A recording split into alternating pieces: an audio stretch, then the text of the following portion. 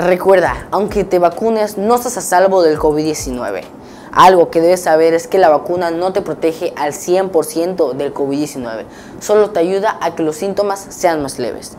Te cuento, en un crucero con 4.400 pasajeros, 27 de ellos resultaron con indicios de la enfermedad siendo la mayoría que estaban vacunados. Del total de pasajeros, 1.400 eran tripulantes y los otros 3.000 eran pasajeros provenientes de Estados Unidos. El crucero Carnival Vista con 27 pasajeros con COVID-19 comenzó su travesía en Galveston, Texas y terminó en nuestro país vecino, Belice. De acuerdo con la información, el 99.98% de los tripulantes estaban vacunados, así como el 96.5% de los pasajeros, según los reportes médicos, parecían que eran asintomáticos. Sin embargo, fueron aislados hasta llegar a la Tierra y verificar su estado de salud. Si tuvieran la oportunidad de ir a un crucero con esta inmensa cantidad de personas, aunque estuvieras vacunado, ¿irías?